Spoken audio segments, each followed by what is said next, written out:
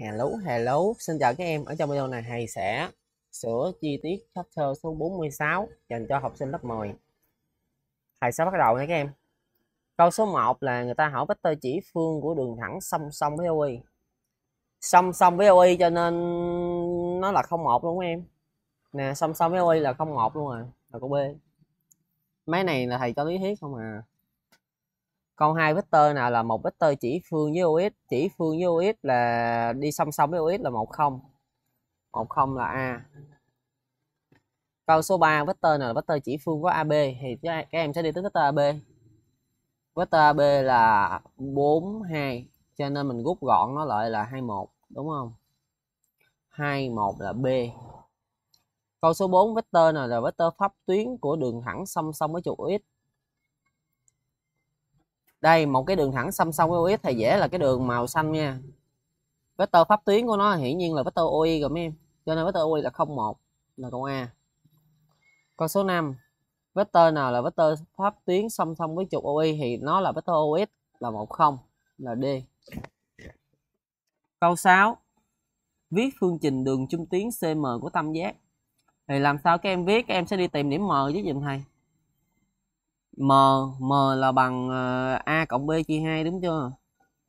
M là trung bình cộng của ab a cộng b chia 2 là bằng 2 3 cho nên mình đi tính vector cm vector cm lấy m trừ c là chiều 1 1 cho nên đây là vector chỉ phương của nó. Vector chỉ phương của nó là chiều 1 1 ủa? Thầy cái kỳ vậy ta? A à, thầy lộn vector cm lấy m trừ c không phải là chiều 1 1 M trừ C là 2 trừ cho 7 là trừ 5 3 trừ cho 3 là 0 mà mình rút lại là mình rút lại là đặt trừ 5 ra ngoài trong còn 1 0 em. 1 0 thì để mình kiểm tra coi câu nào.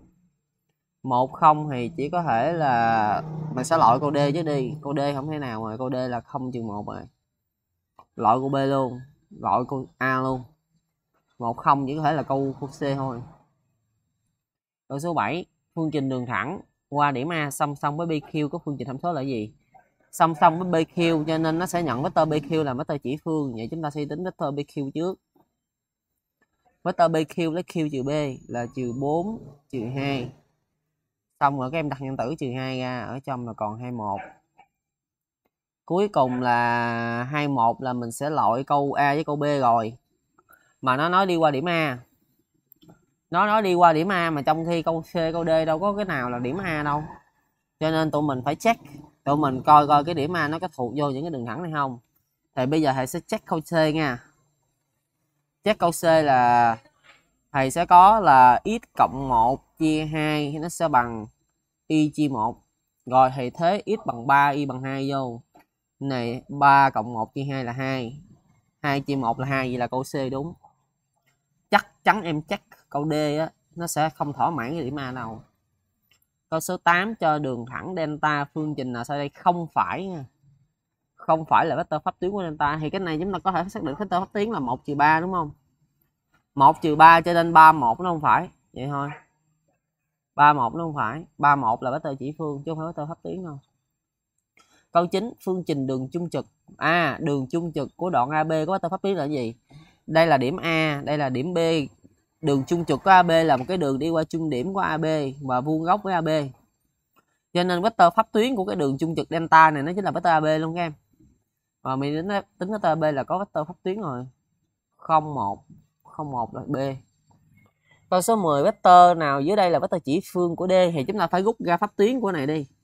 Pháp tuyến là 2 trừ 3 từ đây nó dẫn đến được chỉ phương là 32 đúng không? 32 32 là câu. Câu A 32 là cũng tương đương trừ 3 trừ 2 rồi à, đó là toàn bộ lời giải của thầy ở chapter số 100 lẻ. Ủa số 46 lộn 100 lẻ mấy lớp 12 nữa. Thì thầy mong rằng các em sẽ à, làm tốt hơn cái thơ số số 47 và đừng có bỏ cuộc nha.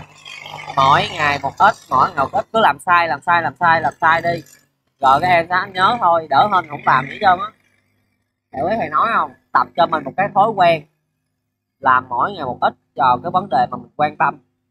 Rồi thầy tạm biệt các em thầy chúc các em học tốt nha không tạm biệt.